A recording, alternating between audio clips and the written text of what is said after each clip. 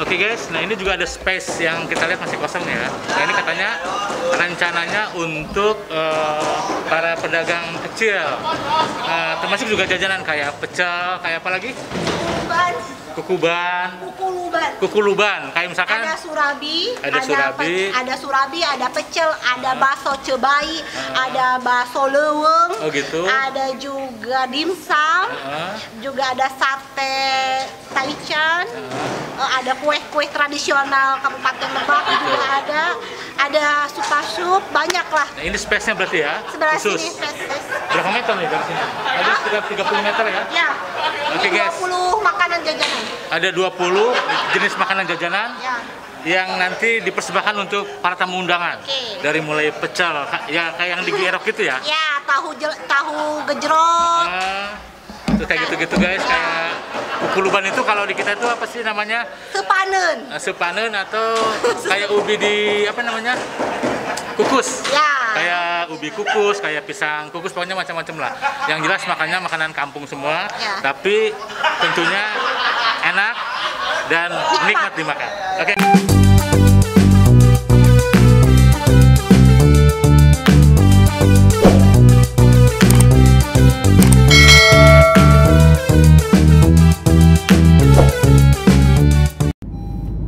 Halo guys, halo Indonesia, selamat pagi, siang, sore, dan malam. Bertemu kembali bersama Mang Uda Channel. Welcome to my channel. Oke guys, Assalamualaikum warahmatullahi wabarakatuh. Barusan eh, saya dari kediamannya Pak Mulyadi Jayabaya atau Pak JB Nah, kepentingannya ke sana untuk melihat langsung persiapan eh, pelantikan Ketua Kadin Banten yaitu Pak M Azhari Jayabaya atau yang biasa disebut Pak Amal Jayabaya pada tanggal 12 eh, Januari 2021 eh, 2022 guys. Nah tadi eh, saya review juga berbagai persiapannya dari mulai apa namanya tempat registrasi, eh, persiapan prokes juga, terus eh, kursi tamu undangan VIP, terus ada juga tempat-tempat pameran, tempat-tempat jajanan ya, jajanan gratis tentunya yang berada di sebuah garasi yang disulap mirip dengan hotel bintang 5 guys. Makanya unik banget, keren banget Eh, sebuah garasi dulunya tapi setelah dimodifikasi disulap menjadi tempat yang mewah. Nah, itu mirip sekali dengan eh, aula di bintang 5 gitu guys. Oke, untuk lebih jelasnya yuk kita saksikan videonya. Come on guys. Oke guys, kita sudah datang di hanggar eh, yang lokasinya tepat berada di belakang kediaman Pak Mulyadi Jayabaya atau Pak JB yang kini menjabat sebagai Wakil Ketua Umum Kadin Pusat guys. Nah ini kita lihat ada foto dari Pak Arsyad Rashid yang merupakan Ketua Umum Kadin Indonesia yang nanti tanggal 12 Januari akan hadir untuk melantik eh, Ketua Kadin Banten eh, Amal Jayabaya guys.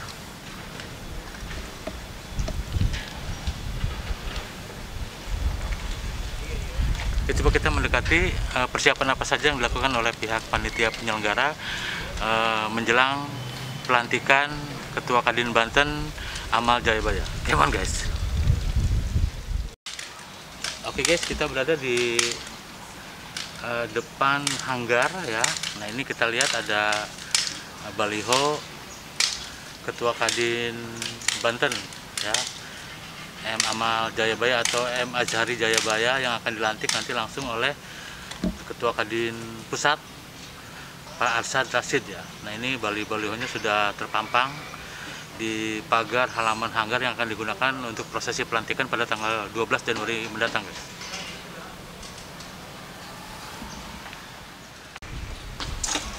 Oke guys ini berbagai persiapan ya yang dilakukan untuk prosesi pelantikan tanggal 12 eh, Januari 2022.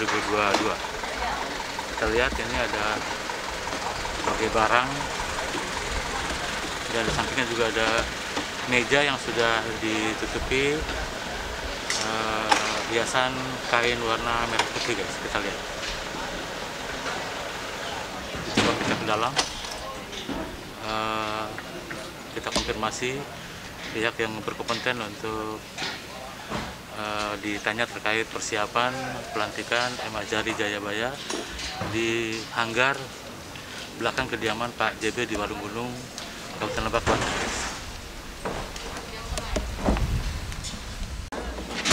Maaf kak, namanya siapa kak? Eh, nama saya Adi. Adi. Adik. Adik. Iya. Oke, adik, terus. kakak. Iya. Nah, gitu. Nah ini peti-peti ini isinya apa? Eh, peti ini sebutannya cash, isinya untuk naruh LED. Oh LED Iya, gitu ya. jadi Videotron itu ada eh, dibagi-bagi jadi ukurannya 50 cm sampai 1 meter. Oh gitu. Iya, ini case-nya biar lebih Apa mudah. campur sound system juga? Ah, sound system sama, cuma isinya beda. Oh, Kalau beda-beda LED ada ya? banyak, kalau sound cuma satu atau dua. Pemasangannya kapan? Pemasangan kita sudah mulai dari tadi malam. Oh, sudah beres. Sudah. Tinggal dicek-cek gitu aja ya. Betul, tinggal cek Oke. sinyal dan cek gambar aja. Nah, disebutnya bagian apa nih kalau Mas Adi ini? Eh, saya lebih ke PIC pemasangan LED. Eh, Pemasangan Eh, Videotron LED. Videotron Ya, Videotron atau LED sama aja. sebenarnya. LED. LED. LED. Oke, makasih ya Mas ya. Oke, sama-sama. Oke, lanjutkan. Thank you. Oke guys, ini pemasangan backdrop di ruangan apa namanya hanggar yang akan digunakan sebagai tempat eh, pelantikan Ketua Kadin Banten M Hajari Jayabaya pada tanggal 12 Janu- Januari 2022. Kita lihat.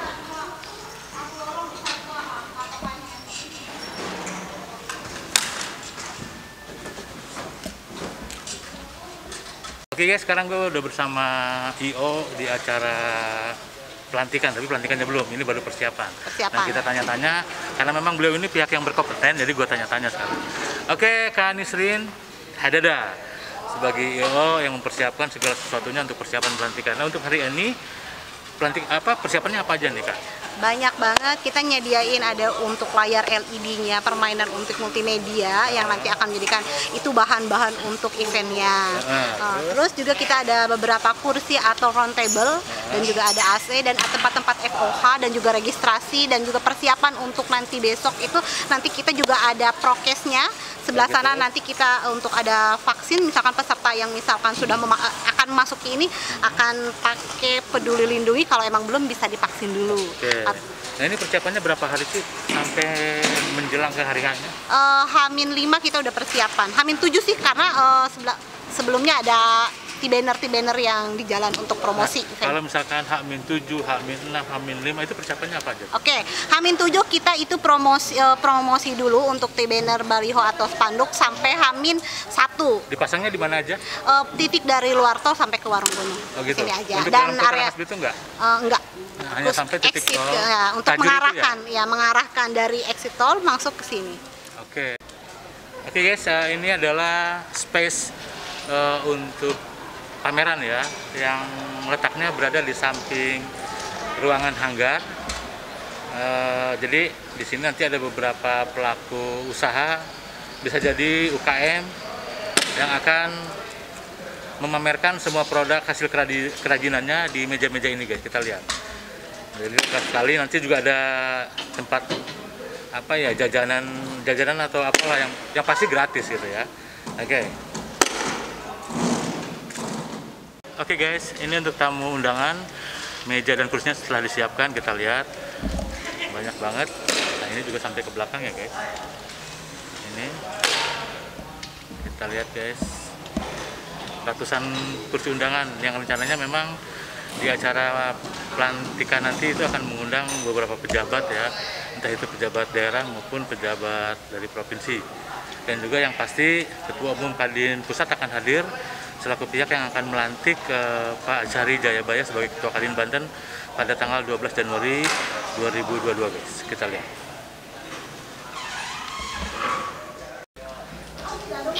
Oke guys, eh, ini juga udah hadir para pengurus Kadin ya. Nah ini milenial semua kita lihat, keren-keren.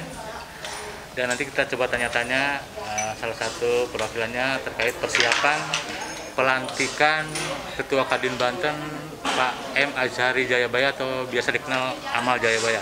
Nanti kita tanya persiapannya sampai di mana guys. Come on.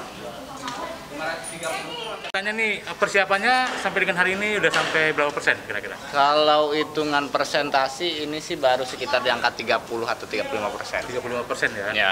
Nah terus eh, untuk besok, nah setelah hari ini kan besok masih ada juga persiapan. Masih, Nah masih. itu tahapan persiapan besok apa aja? Kalau tahapan besok mungkin eh, untuk lightning ya, Ha-ha. terus nanti sorenya itu kita rencana gladier sih. Ya? Hmm. Oh gitu. Nah terus untuk hari ini, nah apa aja yang telah dipersiapkan dan kira-kira sudah dianggap selesai? Kalau yang dianggap selesai mungkin hari ini yang bakalan selesai kursi ya. Kursi Kalau buat ada- undangan ya? Untuk undangan. Ha-ha. Apakah nanti pada saat selesai disusun ada penambahan Nah, atau tidak itu eh, nanti gimana keputusan Pak Ketum bersama pengurus. Oh gitu. Heeh. Nah di sini nanti ada nggak eh, misalkan khusus undangan biasa para pejabat atau VIP? Apakah Oh. ada di sini nanti? Kalau VIP ada, Hmm. pejabat juga ada. Itu udah ada sih nanti dari pihak IO yang bagiannya. Oh, gitu kalau ya? itu, Hmm, yang mengatur posisi mereka duduknya di mana. Oke, yang pasti nanti pada hari hanya udah siap lah gitu ya. Insya Allah doakan Kak Uda. Oke, makasih Kang Adi. Siap, Sukses sami-sami. selalu. Sukses buat Selamat juga. bekerja. Siap. Oke guys, kita sekarang sudah memasuki salah satu ruangan di hanggar ya, yang namanya katanya nih namanya kopi shop. Nanti kita tanya apa aja nanti yang ada di sini nanti untuk acara di hari hanya. Kan Isrin? Ya. Nah, untuk ruangan ini nanti pas di hari hanya apa aja fasilitasnya di sini? Eh, ini kita desain nanti jadi kopi shop Kadin Banten. Di Ah. sini kita menyediakan eh, ada tempat nongkrong buat kopi Ah. atau minuman kayak es mangbukin, Ah. es oyen, Oh ya. terus juga dengan yang lainnya kopi ada kopi cai tutung, Oh, gitu? kopi bahe. Ah. Pokoknya nanti barista-barista Rangkas Bitung akan main di sini. Sini. Oke. Nah, kebetulan ada Kang Ajis nih. Kang Ajis, selamat sore. Nah, ini ada Kang Ajis guys, pengurus Kadin Lebak juga. Nanti coba kita tanya-tanya karena beliau juga berkompeten untuk eh, menjawab pertanyaan saya. Nah, Kang Ajis sudah berapa hari di sini? Saya Persiapannya? sudah persiapan seminggu lah. Seminggu ya di sini ya. Siap. Ikut bersama IO juga bareng-bareng. Oh, jadi Tuh. saya panitia dari Kadit ya, dibantu sama teman-teman IO. nah, persiapannya ada kesulitan nggak? Eh, sementara ini kita tidak ada kesulitan yang berarti ya.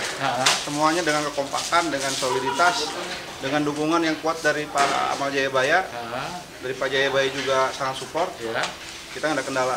Oke. Semua nah, nanti untuk hari H-nya apa oh, bukan hari H, besok ya, sehari sebelum selain ada acara apa tadi namanya?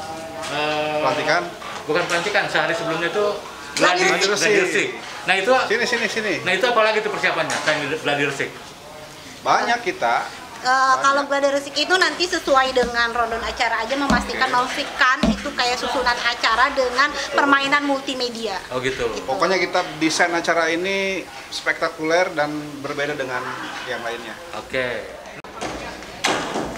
Oke guys, nah ini juga ada space yang kita lihat masih kosong ya. Nah ini katanya rencananya untuk eh, para pedagang kecil, Eh, termasuk juga jajanan kayak pecel, kayak apa lagi? Kukuban, Kukuban, kukuluban. kukuluban, kayak misalkan Ada surabi, Ada surabi. pe- ada surabi, ada pecel, ada bakso cebai, ada bakso leweng, Oh, gitu. ada juga dimsum, eh, juga ada sate taichan, eh, ada kue-kue tradisional Kabupaten Lebak juga ada, ada supa sup, banyak lah. Nah ini space-nya berarti ya, Sebelah khusus. sini space-space. Berapa meter nih dari sini? Ada sekitar 30 meter ya. Ya, Oke, ini guys. 20 makanan jajanan. Ada 20 jenis makanan jajanan Ya.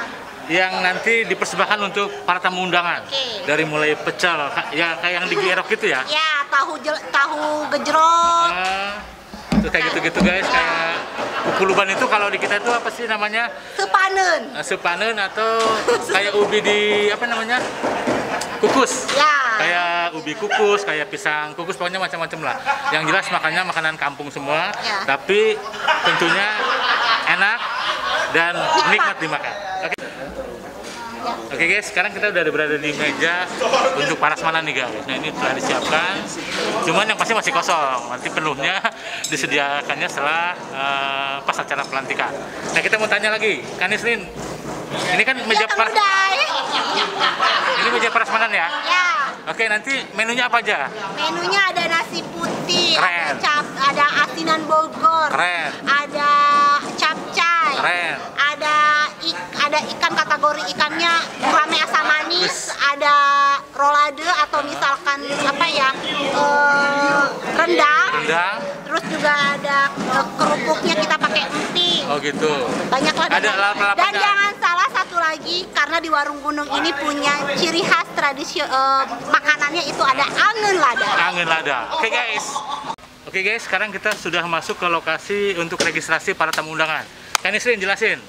Nah ini lokasinya tepat tepat berada di ini ya eh, depan hanggar ya. Ya depan hanggar ada tenda registrasi ini untuk di pintu tiga. Pintu tiga. Ini registrasi untuk para peserta atau pengurus yang akan nanti dilantik dan juga para UMKM yang akan menyelenggara- menyelenggarakan ini. Oke. Jadi lewatnya pintu tiga itu Uh-huh. ada tenda registrasi Hmm. untuk mengikuti eh, registrasi prokes juga. Nah kalau pintu satu dan duanya di mana? Pintu satu di sebelah sana yang ada ada pos. Heeh. Pintu satu di langsung ke Borum, transit VVIP langsung ke Borum. Oh gitu.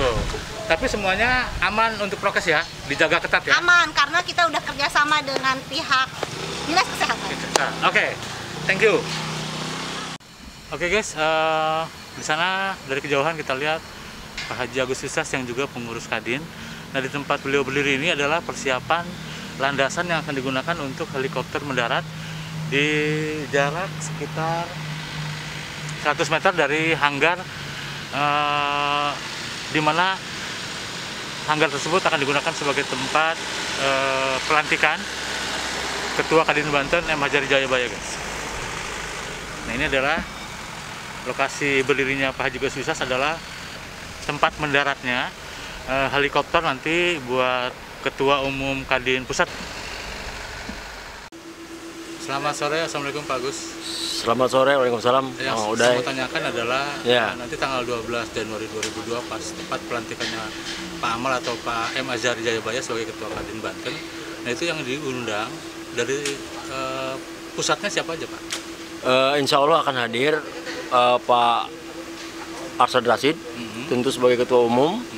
Kemudian Pak eh, Menko Organisasi, Pak Yuki, dan Wakau Bidang Organisasi Pak eh, Eka Sastra.